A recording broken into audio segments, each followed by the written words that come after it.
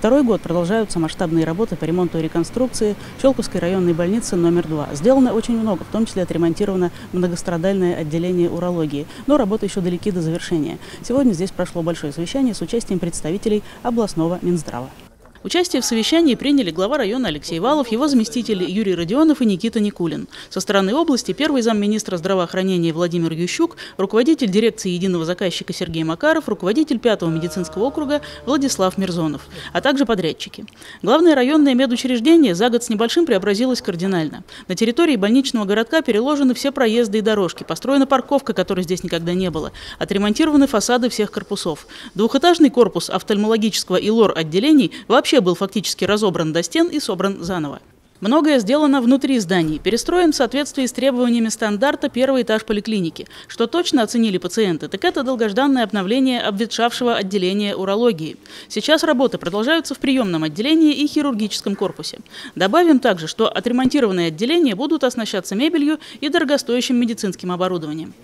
Ремонт в медучреждениях проводится по областной программе, однако со стороны района постоянный контроль. В ходе проведения работ выявили ряд недостатков. Потребовалось корректировать документы, соответственно, сроки исполнения увеличились. Но лучше сделать сразу хорошо и надолго, убежден Алексей Валов.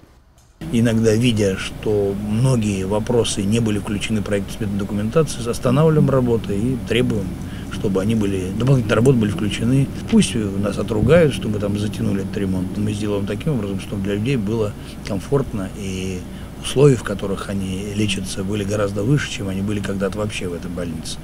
Вместе с замом по ЖКХ Натальей Ефимченко глава района выехал по жалобе жителей дома 7А по улице Комсомольской. Люди недовольны отсутствием благоустройства, нет освещения, ливневки, стоянки. Детскую площадку демонтировали по указанию Госадмтехнадзора, но остатки железных конструкций представляют опасность для детей. Асфальт во дворе разрушился из-за стекающих под уклон поверхностных вод. А как мне ходить здесь? Я вот инвалид. У нас еще одна такая вот. Алексей Валов объяснил жителям, что на этот год все программы уже сверстаны, финансирование определено. Принято решение провести общественное обсуждение будущего благоустройства, найти инженерное решение по отводу воды и в 2019 году выполнить все работы. Мы в этом году это сделаем, проект сделаем, и в следующем году внесем план благоустройства, комплексного благоустройства дворовых территорий. Однако недовольство жителей было бы куда меньшим, если бы должным образом исполняла свои обязанности по содержанию дома и дворовой территории управляющая компания «Перспектива». А дворников у нас на дому вообще нету. Я со своим мужем, мужем вдвоем с мужем чистила вдвоем. тут двор, чтобы уходила вода. Во дворе трава по колено, жители говорят, что мусор убрали только перед приездом главы. Много лет игнорируется просьба отремонтировать или заменить ограждение полисадника. Есть и более серьезные замечания. Электрощиток в подъезде оказался открыт, проводка искрит и создает угрозу возгорания. Директор УК Ирина Кошевая ситуацию никак не пояснила. Видите, да, пожарная ситуация.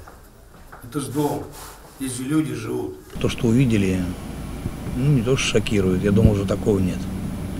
Я думал, что управляющая компания уже как-то более дееспособная.